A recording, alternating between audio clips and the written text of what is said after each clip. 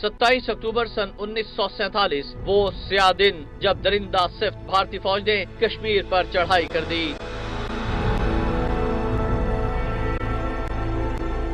اس وقت ریاست جموں کشمیر اسی فیصد مسلم اکثریت کی آبادی پر مشتمل تھی۔ بر صغیر کی تقسیم اور ریاستوں کے الحاق سے متعلق جو فارمولا وضع کیا گیا، اس کے مطابق ریاست جموں کشمیر کا الحاق صرف پاکستان سے ہو سکتا تھا۔ لیکن بھارت نے تمام بین الاقوامی قوانین اور اخلاقی ضابطوں کو بالائے طاق رکھ کر ریاست جموں و کشمیر پر ناجائز قبضہ کر لیا۔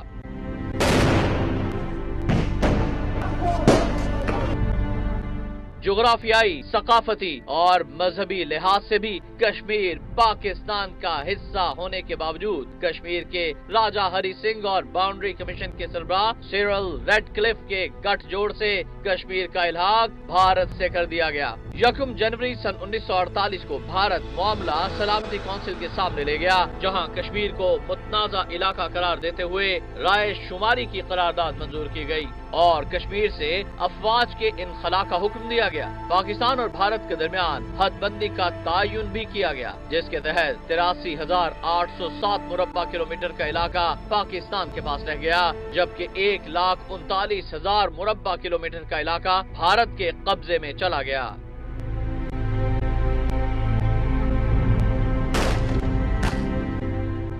قابض اور دہشت گرد بھارتی فوج نے ریاست میں داخل ہوتے ہی مظالم، قتل و غارت گری، خواتین کی عصمت دری اور آبادیوں کو مسمار کرنے کی وہ مثالیں قائم کی کہ روح انسانیت کام اٹھی۔